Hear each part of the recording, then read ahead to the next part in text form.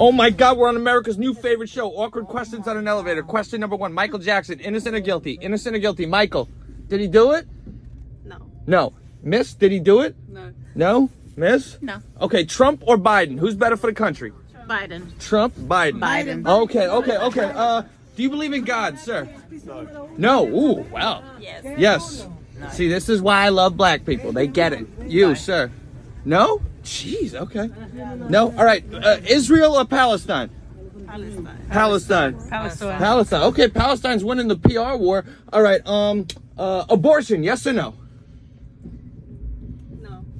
No. Abortion. Yes. Yes. Yeah. Okay. The no God guy loves abortion. Sir, abortion, yes or no? Yeah.